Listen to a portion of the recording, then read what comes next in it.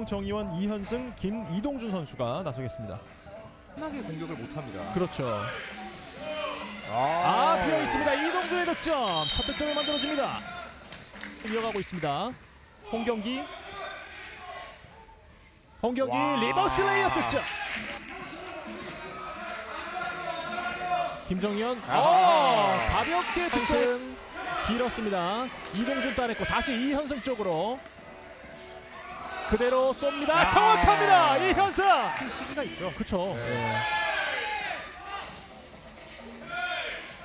아, 김정년. 김정년 득점.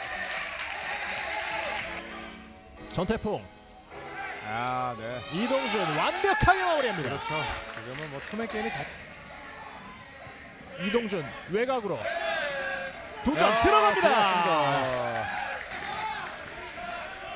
이현승의 두 점. 오. 아, 바로 맞불이네요. 아, 김정현 잘 트라인 점퍼. 야. 아, 13대 13 동점. 14대 13 reverse layup 아, 득점 아우. 됩니다. 야. 네, 아, 슬릭 잘 들어갔죠. 골밑 아. 이동준 20초 홍경기 두 점 쏩니다. 오, 정확합니다. 들어갑니다.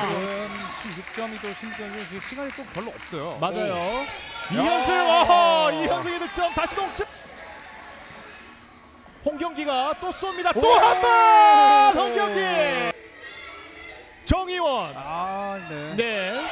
아 오. 이게 이게 들어갑니다. 야 정의원 선수가 이 싸움입니다. 그렇습니다. 자 30초 남아 있습니다. 마지막 30초. 오. 전태풍 쏘는데요. 들어갑니다. 경기 끝. 한솔레미콘의 결승 진출.